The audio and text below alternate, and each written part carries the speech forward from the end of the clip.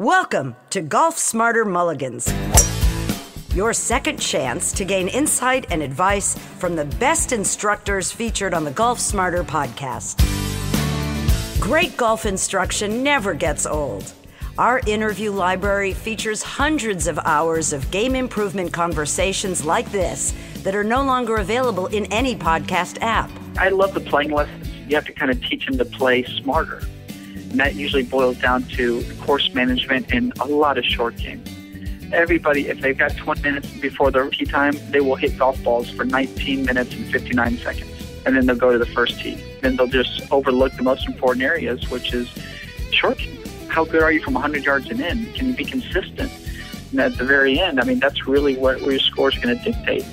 I know everybody's going to have something they want to work on full swing. So if they wanted to do a playing lesson, I love for just to kind of not work on your swing while we're on the golf course. You know, maybe spend 30 minutes of just we kind of work a little bit on swing, you know, just in a controlled atmosphere, and then go to the golf course. So that way we can kind of work a little bit on course management, where to play.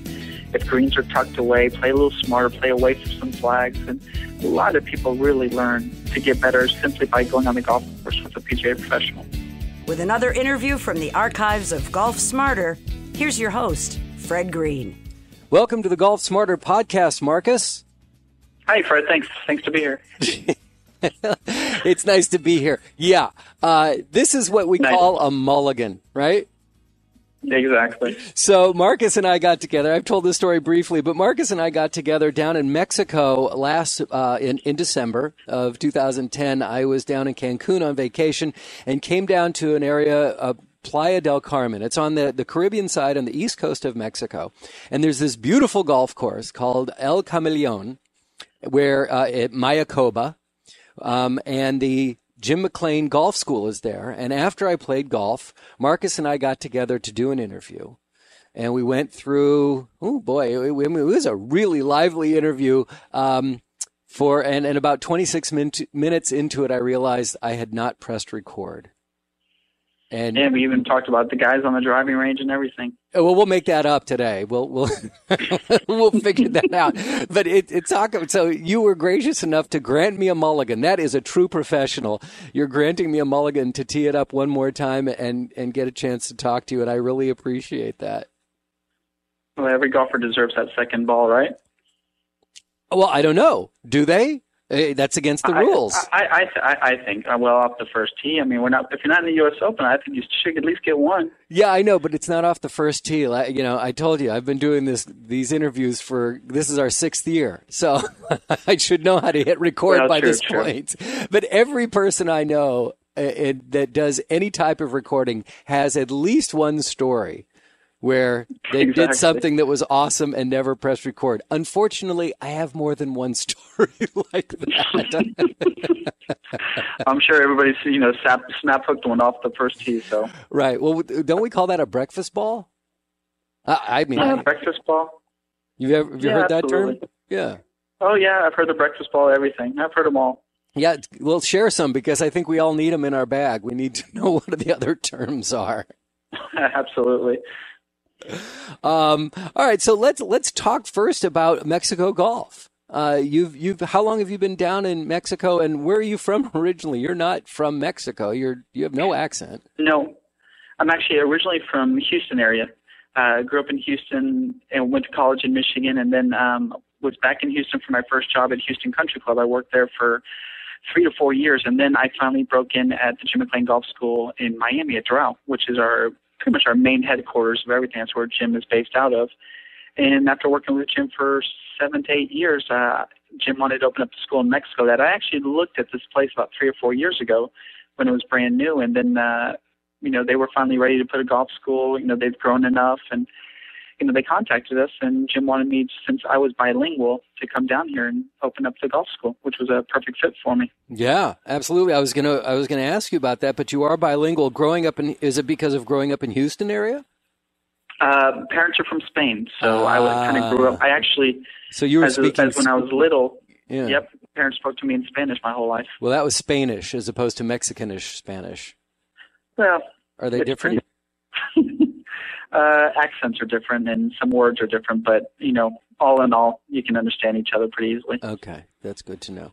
And, and why? What is, what is it about the Jim McLean golf schools um, that are unique? Well, I think what, what Jim has done that's unique is that he really doesn't teach one way to everybody. Uh, I think we, we spoke about it before.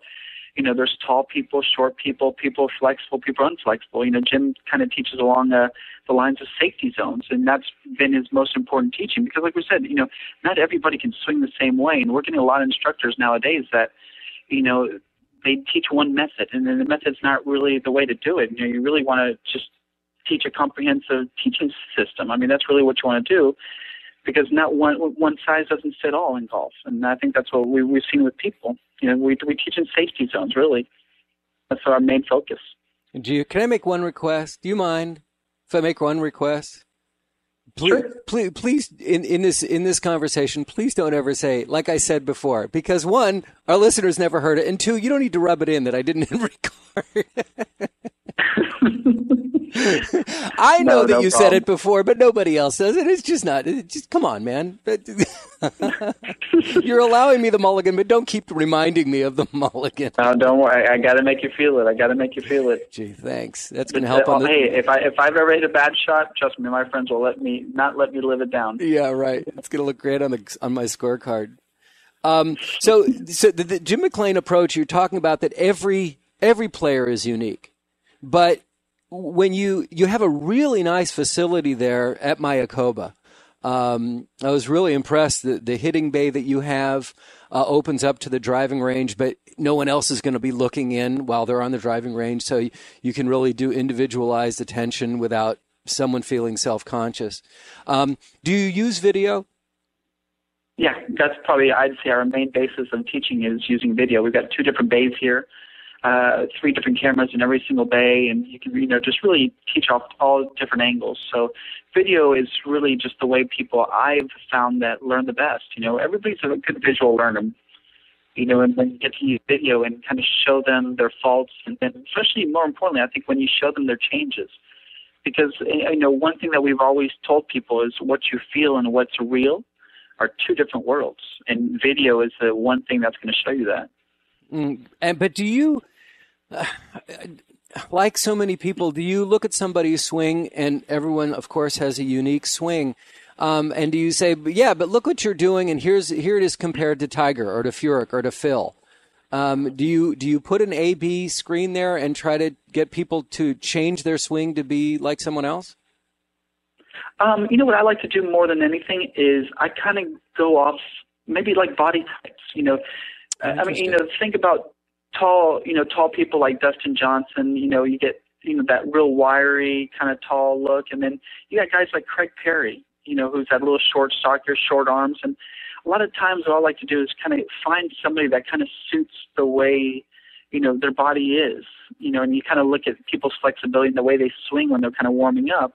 And I kind of do that because, like I said, you know, I don't want to show every single student, you know, a guy like Tiger who's got amazing flexibility, can keep his left arm perfectly straight, or like Ernie Els, and then they see them, and they go, well, why can't I do that? Well, because I mean, you don't have the flexibility. You don't have a personal trainer with you two hours every day, and don't have that kind of life where you can actually do that. And you got to work around the person who plays golf once every two months. Yeah. So you got to build a swing that's going to, you know, something that's going to be, um, I think, very fundamentally sound. Uh, a lot of times, low, more of a compact swing that when they do play once a month or whatever they play, they got a swing that they can try and repeat easier. hmm Well, I, I would also think that because you're in a resort destination, that you don't have the opportunity to work with somebody on a weekly basis, that you only get a day or two or a few hours with somebody to to mess with them, right? Well, actually, true. In, in a way, a lot of times when you are in resorts, uh, you don't get that chance. What's been actually really nice about this place is that we have a great uh, local following too, if you can believe it, because Really? we are the only golf. We're the only golf school in this whole Riviera Maya area, built from Cancun to all the way south of Tulum, which is 40, 50 miles south of us. We're the only golf school. And how many So, golf you know, courses are there? There's, I believe, 15 total, Uh huh. and and we are the only golf school teaching facility. Really? So we No, are I start wasn't with, aware that. yeah. we are getting we're the only we're getting a nice little local following. Actually, getting a, a nice little group of juniors. Also, I've got a top six juniors in the area here. So I actually, which is kind of nice because when I used to work in in Doral in Miami, uh, people had they could go anywhere to take lessons, and you know sometimes going to the Doral was a little bit you know out of their way, so you wouldn't get that many locals and see, like you said, see every week and see how they progress. So I actually get a nice little mixed bag. I get a little bit of the resorts where I see them for you know two or three days, and then you know may not ever see them again, and then I've got locals where I see them once a week. So I, I actually get a nice little mix of people. Hmm. So, but what about people like myself who come down for a week and, and you know, uh, I mean, I would love to come down for a week and play golf three or four times, but I'm really, uh, on this past trip, I was down there to spend a nice week with my wife. So the fact that I got permission to have a day of golf was a wonderful thing. Um, but if I were to come to a, a, school for a day, come to the Jim McLean School um, that you're running there, uh, what, how would you help me? What would you be able to do without, you know, I mean, you're not going to rebuild my swing in, in a two hour period. No, you know, no. The, the one thing I'm probably going to do is, like I said, you know, when we video you outside, you know, we kind of get an idea of how you aim, uh, and then when we look at video, you know, we, sit down and you know, kind of look at what, what's going to be the most important thing that's going to give you consistency. Because I'd say a very nice student that I ask, you know, what do you want to improve upon? I, I'd say their number one thing out of their mouth is consistency. So what we got to do is find out what's going to make you more consistent. It, it, a lot of times it, it comes down to uh, the way your body moves, not so much really the club. You know, a lot of times it's you know more of just getting your body to work the correct, proper sequence more than anything else. So what I do is really, you know, if you're here with me for a day or two, all I can really do is get put the wheels in motion. Let's let, you know we can say it that way. And then when you go home, question is, you know, can you take the steering wheel and keep driving straight? I always, you know, recommend that when you do go home, you know, you're going to go home with either a video I'm going to give you or we'll give you pictures with all the notes that, you know, everything we ever talked about. So when you do go to your, let's say your professional at home, I think it's important that, you know, you take your little binder with you and you kind of show them, hey, I was working on this. I kind of want to stay along those lines. Can kind of film it and see if I'm, I'm going in the right path or not. And that, you know, that's where it's always going to help you because like I said, I might be uh, 3,000 miles away from a student. And, you know, at times I do have some students that will send me videos, which is kind of nice. I mean, you know, technology is getting now to the point where I can have a student come here from Vancouver, and let's say he goes home and he can swing very easily, upload in his computer. He sends me a Windows media file, and then at my office, I can open up our golf program and I can shoot up into JC Video. And from there, I can actually do a voiceover.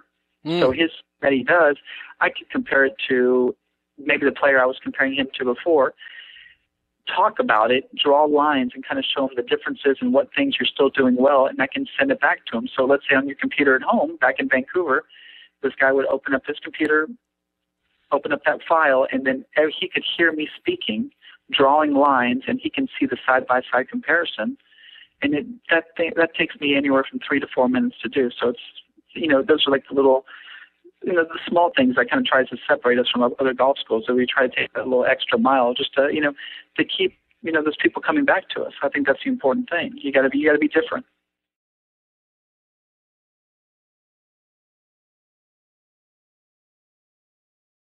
Now, Marcus, um, you talked about consistency a minute ago, and I and I have to um, even in my world when I talk to golfers, they all say the same thing: is I just want to be more consistent. I want to be more consistent. Um, and now that I'm doing more video, I take a camera with me, and, and these point and shoot cameras are so good now that they have video on them, and the video looks pretty good. It's HD video. So I put it up on my computer, and I'll go frame by frame. And the one thing that I notice more than anything is, um, although people say it's you know you turn you lifted your head, you lifted your head, it's more like you straightened your back. It looks like you know, and their head does lift compared to when you're going side by side on a pro. And they even emphasize this on PGA events on television how how still their head stays. Um, where, Absolutely. yeah, where from your perspective, when they say consistency, what does that mean from an instructor's point of view, and what is it that you're able to to to provide for them? Well, I, I think consistency. A lot of it, when a lot of these students come to with you, is they hit so many shots right and left. You know, and I think kind of consistency comes down to really, you know, I, I talked a little bit a while ago about the body. I, I think the body really kind of keeps the club path and your club face, of course, with a good grip on path. You know, if you can consistently swing down the same swing plane line, uh, down the same angle, and the club face is always square, I think that's where a lot of that consistency comes from. Because I think what a lot of us have is, you know, a little bit of grip issues, a little bit of uh, incorrect grip, uh, then your club face is off. So if your club face is off, you might start swinging, you know, across, you know, a little bit over the top to kind of, you know, fix whatever you're doing with your club face. And then your body has to do different things to kind of accommodate with that. So it's almost like, it's like a snowball effect. You know, we might go with a bad club face at the top of our swing. And then from there, we start finding a way how to hit it straight. And that's where I think everybody starts getting a little bit out of whack. So a lot of times, you know, a lot of lessons, um, I had one this morning. It started with a guy who just a completely closed face, and then he had to kind of do a little bit of a hold off chicken wing. He couldn't release the club. He'd come over the top, and it's almost like it's a snowballed effect just from the way he kind of set his hands on the club. So a lot of that consistency comes from just sometimes as simple as your grip. So people overcompensate all the time. Oh, uh, you have to. If you do one thing wrong in your, in let's say your backswing, or at the top of your swing, from there you have to correct. You know, you're in the state of just trying to overcorrect it, and you know people will find a way. You go out and hit a hundred balls, you'll find a way with a bad club face at the top of your swing or in your backswing. You're going to find a way how to make the ball go straight, and that's usually going to be with about two or three other swing faults. Mm. Yuck. And then you're and then you're kind of just stuck there in those swing faults, and you know you'll hit a plateau where you'll never really get better. When uh, I was down there, um, you were about to uh, go out and do a playing lesson uh, with some. I don't know if these are old friends of yours or just students who had, had continued to come to visit with you, and you became friends with these guys. Um, but um, I'm curious. Do you offer to anybody the option of either taking a lesson on the range for an hour and then they go out and play golf, or for you to go out and give a playing lesson? Yeah, we actually do. You know, I, I, I love the playing lessons just because, you know, we kind of talked about it with like yeah, slap your wrist. Yeah, there you go. No, we didn't. you know, especially especially with my friends is, you know, watching them. You know, they spend all their time hitting full swing. Where, like I said, you know, we always talked about, you know, when I go on the golf course with them, you know, you have to kind of teach them to play smarter.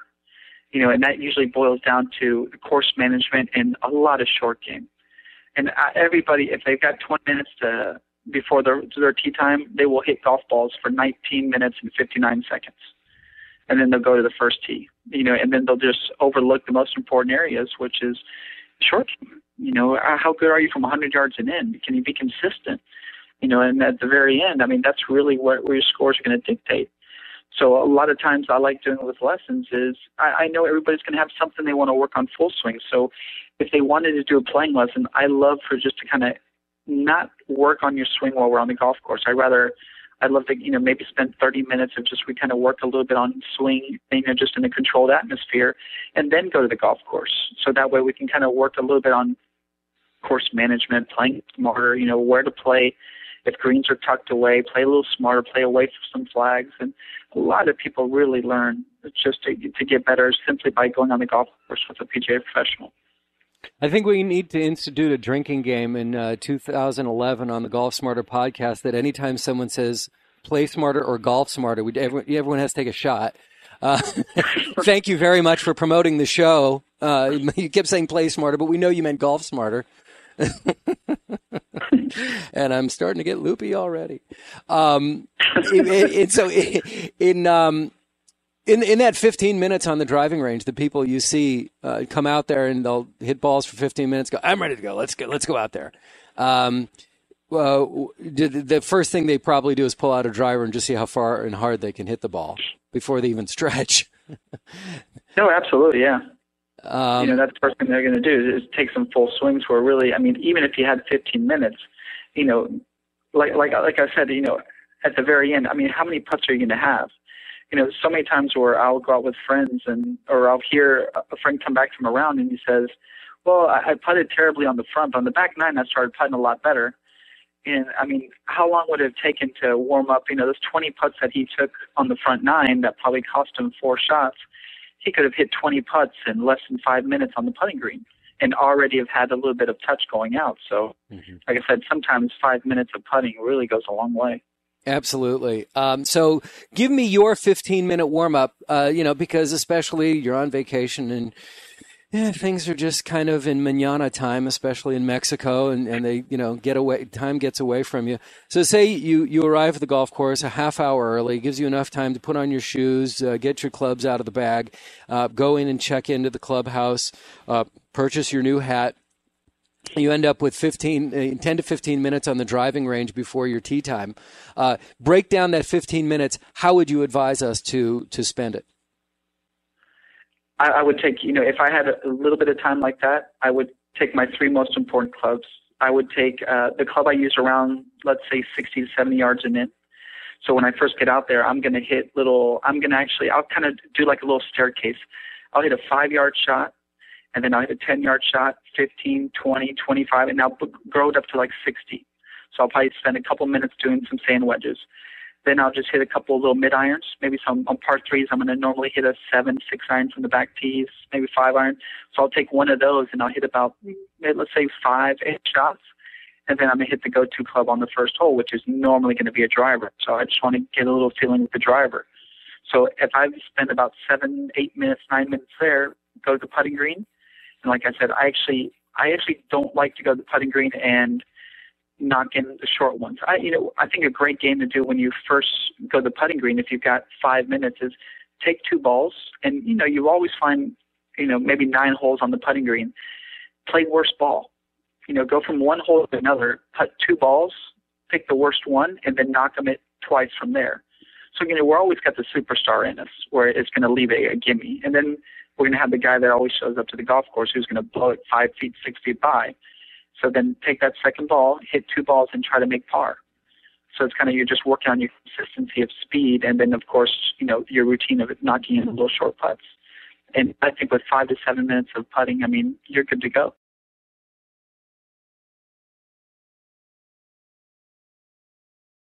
Now let's change gears a little bit and talk about playing golf in Mexico, um, which the course that the Jim McLean School is uh, located where where I played is uh, at Mayakoba, and uh, the course El Camaleon. Um, notice I've been practicing it since the last time I talked to you. I can say yeah, your Spanish is your Spanish has been much better. I've noticed. Thank you, thank you very much. but Mayakoba, uh, it's the only PGA stop in Mexico, correct? Yep, it's the only PGA stop. Uh, this will be its fifth year. This year, I believe the tournament's February 24th to the 27th, and it's going to be the fifth year running. So, and it's the only spot outside the United States other than Canada and Puerto Rico. Mm, that's awesome. Um, and it's really a fun course. It was magnificent condition. And I was there again. I was there in, in, uh, mid to late December. Um, and the, the, course was just beautiful. It's it's designed by um, Greg Norman, and um, in, in Greg Norman has a reputation in his course design of not moving a lot of dirt around. He'll he'll take the land as it is and build the golf course, you know, basically as it presents itself. And I think absolutely, yeah. And a lot of the courses that you know, him being of course from Australia, a lot of his courses are the kind of courses that he grew up upon, and in Australia, which are have a little bit of a links look to it. You know, this course, as you saw, was very linksish, where not a lot of rough. Uh, you can actually do a lot of chip and runs, and of course, it was cut through the mangrove trees, so you had a little bit of a, a lot of natural wildlife with a links type feel. So. Uh, most of his golf courses that I've ever played, there's another one here in Cancun area called Playa Mujeres, which is very similar. They're all kind of just links type look, you know, through beautiful mangrove terrain. Mm. There's one feature um, on the opening hole that I can only describe as unique. Um, it's the most outrageous. Uh, uh, let's see. It's the, it's the most outrageous hazard I've ever witnessed uh, uh in your in your wheelhouse. I mean, you drive right at it. Um, and why don't you describe it? Okay, so yeah, first hole is a par five, and like you said, it's actually called a cenote. It's a very dried up cave. It actually looks like a, a, a real cave a bear would walk out of. And that is your aiming point off the first tee. It's about, from the back tees, it's probably 330 yards. And from, I'd say from the whites, it's somewhere close to the 280 yard range. So you drive straight at that cave. And what's pretty impressive is that once your drive will probably end up anywhere from 20 to 30 yards short of it, now you're actually hitting over it where the fairway kind of elevates a little bit. So it's actually very uh, intimidating because you're actually staring into this big cave and you're trying to hit over it and you're just thinking the last thing you want to do is top it into it and then hopefully a bat's not going to come out and try and get you when you go after your ball. and, and that's one of the things you got iguanas coming out of there, you got a whole type of wildlife and you know there's some bats in there too. So but it's very unique. I have never seen anything like that anywhere in the world I've ever played golf.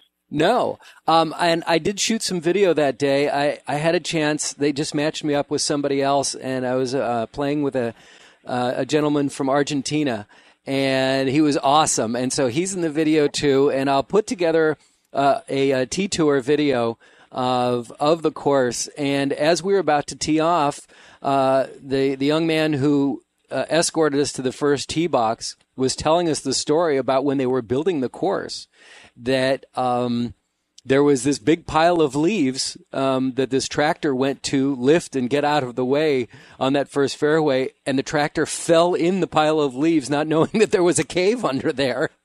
And when they, they dug it out, it was like, oh my God, look what we have. And really, there's this cave that you can walk down into. And you know, if you're you're game enough, because there are bats that are going to fly out of there, but you lose your ball in there, and there's a couple extra strokes for you. But you got to play out of it. Yeah, absolutely. You got to play backwards as a out hazard. of it. Yeah. On on the PGA Tour, they play it as a lateral hazard, and uh, yeah, you're right. It's like you said, the cave. I've a couple times have gone in there looking for other people's balls. I'll never say I've hit it in there.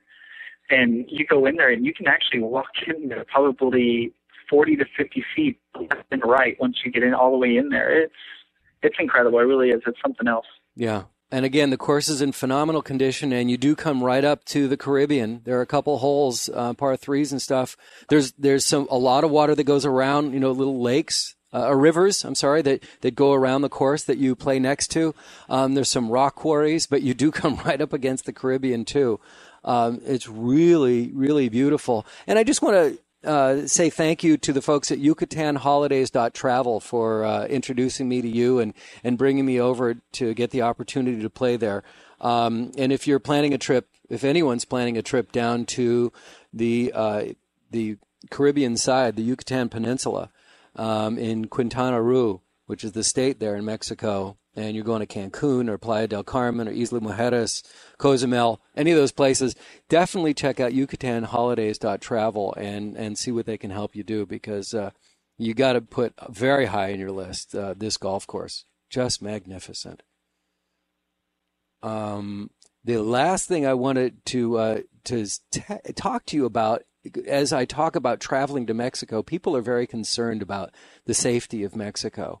Um, and I, I didn't feel that. Now you said you you have friends who still live in Houston, um, who are concerned for your safety being in Mexico.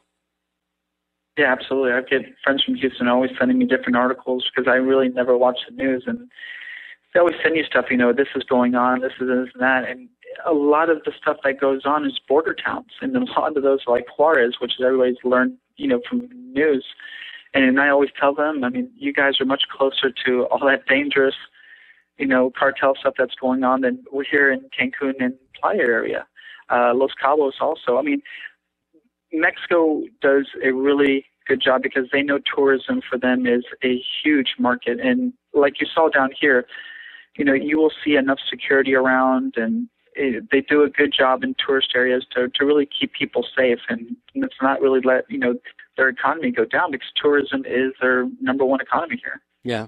Yeah, and and I've been going to Mexico for years, and also people should be aware that the water's fine. You can drink the water. They don't need Americans uh, or Europeans. That's the other thing about Playa del Carmen. It's a lot of Europeans, South Americans, and people from Mexico City.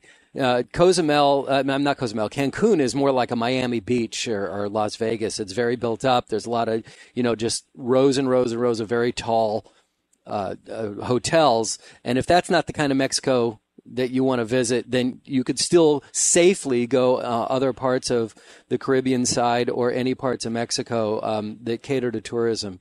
And it's very safe, and the water's fine, and the people are wonderful, and the food is great. So you know, just you have to just be smart about it. But um, and t- I took buses, I took public transportation everywhere I went. I just loved being there with the rest of the people. I love Mexico. I really do. Yeah, I mean, it's great. I mean, like, like I said, it just uh, the news in the United States is really just trying to make everybody be afraid of it, and really, it's you know, at, at times it's going to draw a lot of people from not coming here. But like you said, you saw yourself. I mean, you were here. You took public transportation. I mean, it, you, that's probably the last thing most people would do, and you did it. You're safe. Don't even speak Spanish fluently, and you got around without a problem. Yeah. Without any problems, right? Yeah, it was real easy and it's and their buses run 24 hours a day, seven days a week, and I never waited longer than two and a half minutes for a bus. There was always one coming in, and you say. You just name the hotel, and they're like, "Yeah, get on, get on. Don't worry, don't worry, we'll get you there." And you exactly. and I love the fact that, like, I was walking down the street. Oh, here comes a bus. I wasn't at a bus stop. I just threw up my hand as if I was looking for a taxi in New York City, and the bus stopped. Yeah, come on, get on. After I left you that day, um, I was driving back to, to go pick up my wife, um, and um, I was passed by a truck full of uh, servicemen, Mexican army guys, and they all had automatic weapons sitting on their laps. I was like, wow. And uh, for some reason, I was like, okay, I feel safe. I'm not concerned about this. Um, yeah, there's enough guys around here. I think I'm going to be pretty good. Yeah, you really are. Awesome. Marcus, it was great to speak to you. I really appreciate you giving me the mulligan. I think that uh, I think I shot par today. I thought this was a lot of fun. I, I, I, think we we might have shot a little bit better than par. We didn't do too bad. We didn't do too bad. Uh, well, thank you. And uh, a little long, but you know what? You had a lot to say, and it was all of value. And you did say play smarter, golf smarter than there. I appreciate that. You win the week drinking game. this week's drinking game. And then next time we'll have to play it here again. So you have to come back down. You got it. Hopefully, we'll bring a lot of people with us. That sounds good. Thanks, Fred, for having me.